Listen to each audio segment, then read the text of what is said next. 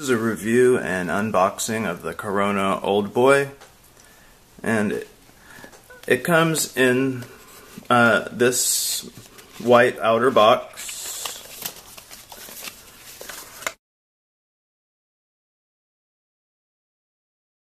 I like to put it right there to put my lighters on. And as you can tell, this is the same box as this one is. I just needed a place to put all my little things in.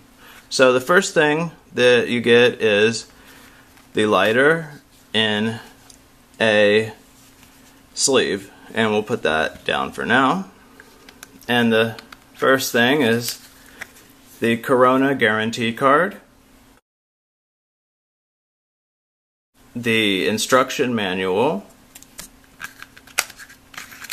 And and the Corona warranty card. I don't know why there's two, but there's two. This one's just plain white. So,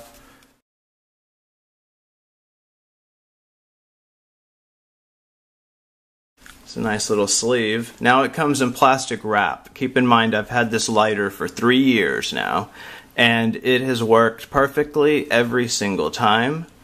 Uh, I do use this one the most out of pretty much all of them. It's powered by a flint and all you do is open it and slide the bar and you have an angled flame.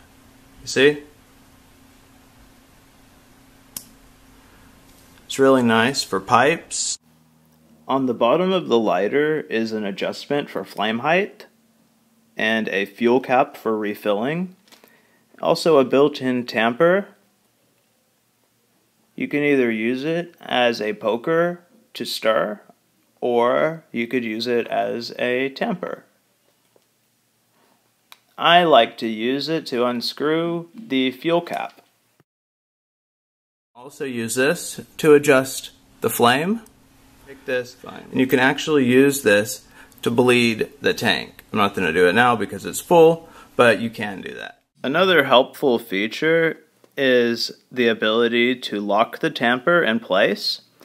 And what you do is open it until the first stop and then turn half a turn either way and now it's locked into place. I've had this lighter for three years and I've really been impressed with it.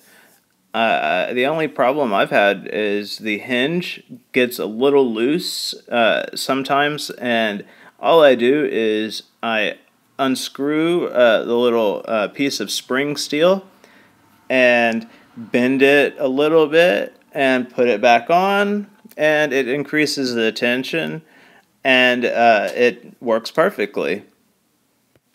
In my next video, I will demonstrate how to change the flint, refill the butane, and do some regular maintenance on the Corona Old Boy. Thank you for watching, and please subscribe.